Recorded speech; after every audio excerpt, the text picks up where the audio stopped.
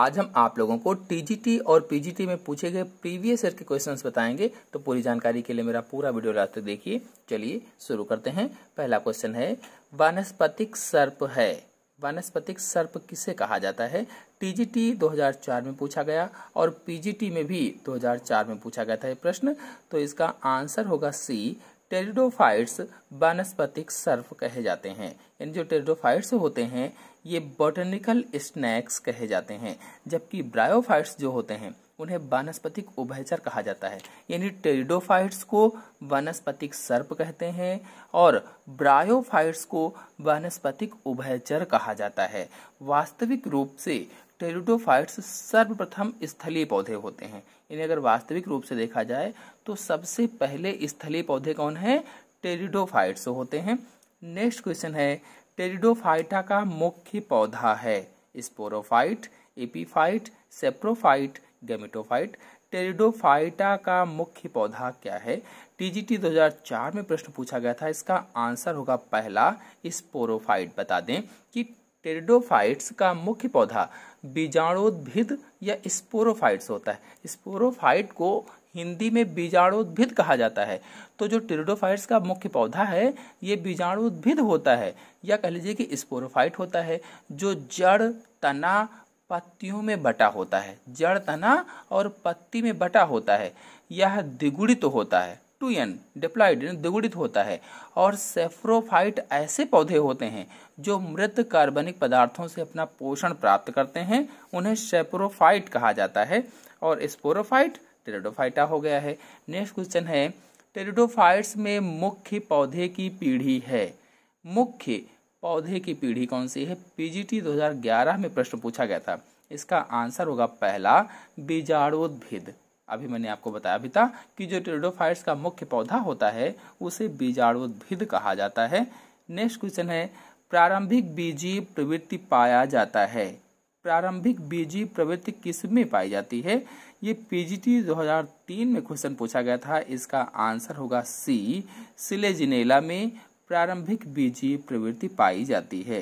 ये जो आप पौधा देख रहे हैं ये सिलेजिनेला का पौधा है और प्रारंभिक बीजीय प्रवृत्ति सिलेजिनेला की कुछ जातियों में पाई जाती है। इसमें निर्मित बीज सत्य बीज नहीं कहे जाते हैं, यानी ट्रू सीड्स नहीं होते हैं, क्योंकि इनकी गुरु बीजाणधानी में उच्च श्रेणी के बीजाण युक्त पौधों के समान अध्यावरणों का अभाव होता है, यानी उच्च श्रेणी के पौधों के समान अध्यावरण नहीं पाए जाते हैं।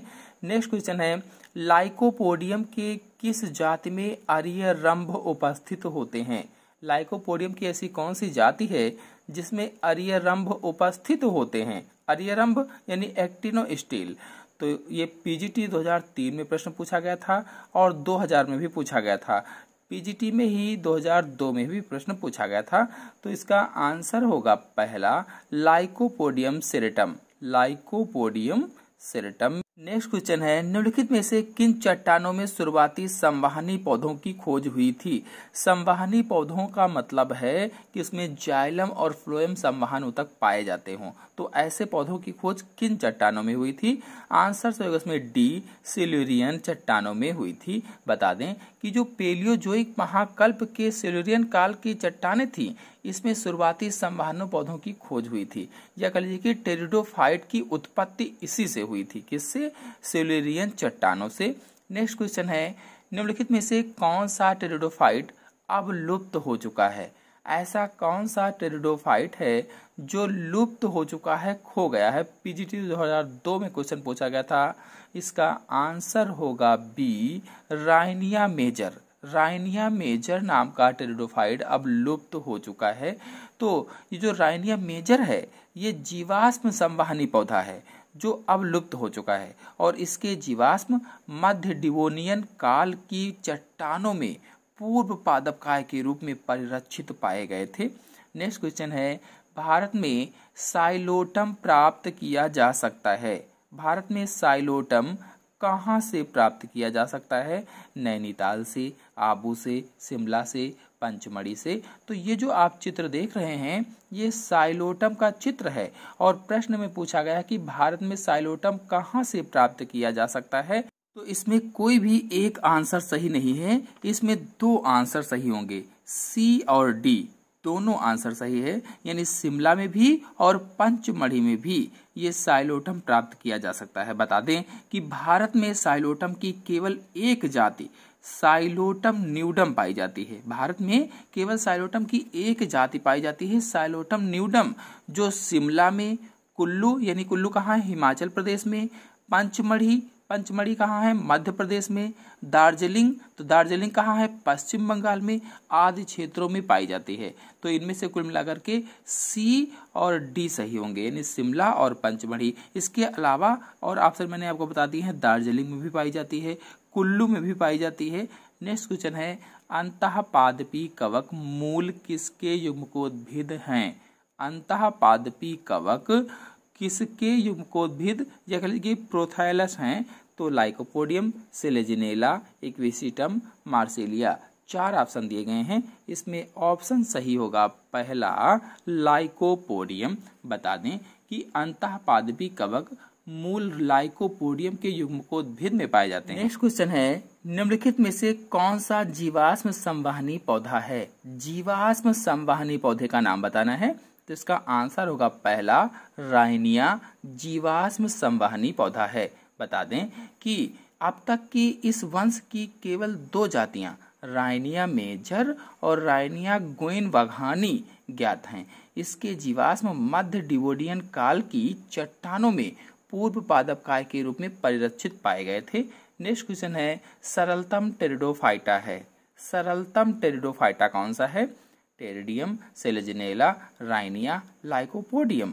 इसमें से सरलतम टेरिडोफाइटा बताना है तो आंसर होगा इसमें सी, राइनिया सरलतम टेरिडोफाइटा है। और यह सबसे सरल व पुरातन संवाहनी पौधा है। सबसे सरल व पुरातन संवाहनी पौधों का समूह है, कह लीजिए एक तरह से। और इसकी उत्पत्ति पेलियोजोइक महाकल्प से हुई है। नेक्स्ट क्वेश्चन है, राइनिया के जीवाश्म की खोज किसने की? राइनिया के जीवाश्म की खोज किसने की, ये बताना है। तो इसका आंसर होगा पहला, किंडस्टन एवं लैंग ने राइनिया के जीवाश्म की खोज की थी। और कब की? तो 1917 में की थी। नेक्स्ट क्वेश्चन है, राइनिया के पौधे उन क्षेत्रों में विकसित हुए जहाँ पर निम्नांकित वाष्प रूप में उपस्थित था। यानी ऐसे क्षेत्रों में विकसित हुए जहाँ पर ऐसी कौन सी वाष्प विकसित थी? ऑप्शन सही होगा इसमें डी, जहाँ पर सल्फ़र वाष्प रूप में उपस्थित था, वहाँ पर रायनिया के पौधे विकसित हुए। तो रायनिया के पौधे सिल्वियन पीरियड में उन स्थानों पर हुए जहाँ सल्फ़र के वाष्प थे और ये क्षेत्र अम्लीय दलदलों में उपस्थित थे। कहा? अम्लीय दलदलों में। नेक्स्ट क्वेश्चन है, सिलेजिनेला में किन लक्षणों की उपस्थिति होती है? ऐसे कौन से इसमें से लक्षण हैं जो सिलेजिनेला में उपस्थित होते हैं? टीजीटी तो उन्नीस सौ निन्यानवे में प्रश्न पूछा गया था। इसका आंसर होगा बी, विषम बीजाणुकता, राइजोफोर, लिग्यूल युक्त पत्तियाँ एवं ट्रबेकुलीय अंतस्थ त्वचा। ये होगा। सिलेजिनेला के लक्षण की उपस्थिति होगी। नेक्स्ट क्वेश्चन है, बीज स्वभाव शुरू हुआ। सवाल से, टेरिडोफाइट से, कवक से, ब्रायोफाइट से। बीज स्वभाव किससे शुरू हुआ था? आंसर सहयोग में बी, टेरिडोफाइट से बीज स्वभाव शुरू हुआ। नेक्स्ट क्वेश्चन है, बीज प्रकृति पाई जाती है। बीज प्रकृति किसमें पाई जाती है? टीजीटी 2011 में प्रश्न पूछा गया था। इसका आंसर होगा बी, सिलेजिनेला में। बीज प्रकृति पाई जाती है। तो मात्र पौधे मात्र पौधे मतलब बीजाणु धानी में निषेचन के काफ़ी समय बाद तक गुरु बीजाणु को धारण किए रहना बीज स्वभाव का एक प्रमुख लक्षण होता है। नेक्स्ट क्वेश्चन है, टेरिडोफाइट्स में पाया जाने वाला सर्वसाधारण रंभ है। टेरिडोफाइट्स में कौन सा सर्वसाधारण रंभ पाया जाता है? तो इसमें से आंसर सही होगा, पहला प्रोटोस्टील टेरिडोफाइट्स में पाया जाने वाला सर्वसाधारण रंभ है। नेक्स्ट क्वेश्चन है, निम्न में कौन प्राचीनतम स्टील है? निम्नलिखित में से कौन सा प्राचीनतम स्टील है? तो इसका आंसर होगा पहला, साइफोनो स्टील सबसे प्राचीनतम स्टील है। साइफोनो स्टील। आशा है आप लोगों को सभी क्वेश्चन समझ में आ गए होंगे। तो आज के अंक में इतना ही। अगले अंक की जानकारी के लिए मेरे चैनल को सब्सक्राइब कर लीजिए और साथ में बेल आइकन को भी प्रेस कर लीजिए ताकि आने वाले अगले वीडियो की नोटिफिकेशन भी, उसकी जानकारी भी आपको सबसे पहले प्राप्त हो जाए। धन्यवाद।